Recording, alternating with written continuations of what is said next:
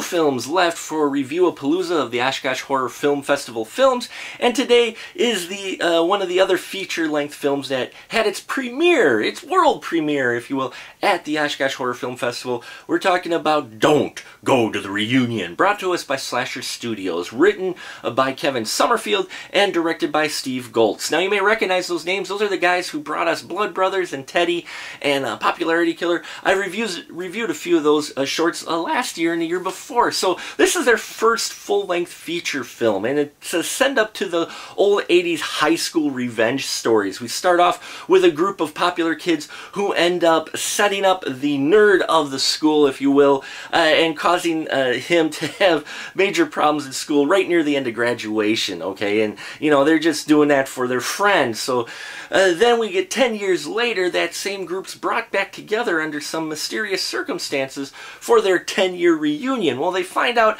uh, the 10-year reunion isn't be, being held by the, uh, some school committee. No, this they were brought together by the kid that they picked on in high school. And so we see how things unfold from there.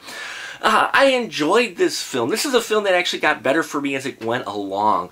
I enjoyed the high school scenes that they did, and everybody does very well at trying to play uh, the, the, the high school kids, you know, so and the makeup and everything. So they did well with that, and then uh, doing 10 years later, it, it, felt like there was some time between those two. So I really liked that. And the film, though, it, in general, it, it, seemed like the chemistry between the actors actually got better as the film went along because uh, it just got better and better for me. And then by the very very end, I really was into it. This is like an 80s slasher uh, film story kind of told with a bit of a 90s flair to it, a 90s twist. So I enjoyed that, that they brought those two styles of horror films together.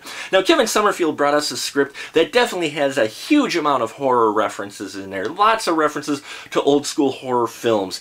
And uh, so when you watch it, if you definitely are into it, you'll probably catch all of them. I caught most of them, but some of them I was even like, oh, okay, I'm going to have to look that up. And then I put it on my playlist for Netflix once I figured out what film they were referencing. So there's a lot of film references in here, and it definitely will uh, get people uh, who are big into horror films. They're, they're going to love catching all the references in here.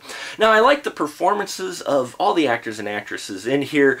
Uh, again, uh, their lines deliveries actually got better as the film went along. Uh, Stephanie Lee Rose playing Erica Carpenter. Love that name. All the all the names in here, the last names are based off of uh, horror uh, directors, and I loved that bit of it. So Erica Carpenter being the main uh, focused on character, uh, she does a great performance in here, and she she can scream really well too, which I know it sounds bad, but it's true. Uh, the rest of the performance there, you get Mike Goltz back. He would have played Clay and Teddy. He has you rolling. Him and Nick Summers are the kind of comedic element, the humorous element to this horror story, and I love their uh, performances as well. They had some great line deliveries and had the whole audience laughing, so it definitely was enjoyable there.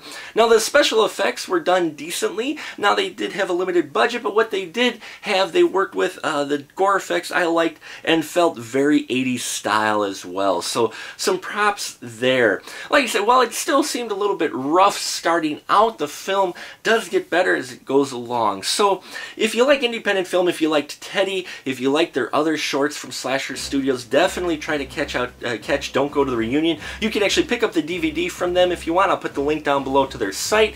You can check out more for Don't Go to the Reunion. And make sure you check out my uh, uh, Q&A and the uh, uh, interviews that I managed to do with the cast and crew as well.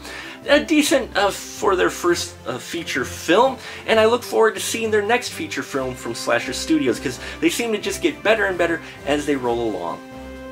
And that'll about do it for us here at the Final Cut. Till next time, keep that